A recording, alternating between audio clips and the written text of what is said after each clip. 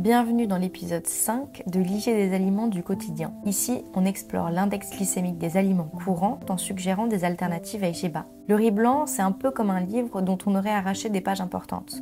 En perdant ses fibres et ses nutriments pendant le raffinage, le riz devient un récit un peu incomplet. Donc en gros, il se transforme en glucose vitesse grand V, faisant exploser son IG. Heureusement, il existe des alternatives IGBA. Par exemple, avec ce risotto de céleri rave, et oui, le riz est remplacé par le légume et le résultat est absolument dément. Bien fondant en bouche et avec la touche de parmesan, c'est direction l'Italie. Tu veux en apprendre plus sur l'alimentation IGBA et cette recette t'a donné envie, viens découvrir tous nos cours vidéo sur chak.co. Tu y trouveras une mine d'informations Information gourmande pour te guider vers une cuisine plus saine. Tchac Cuisiner simple et pointu.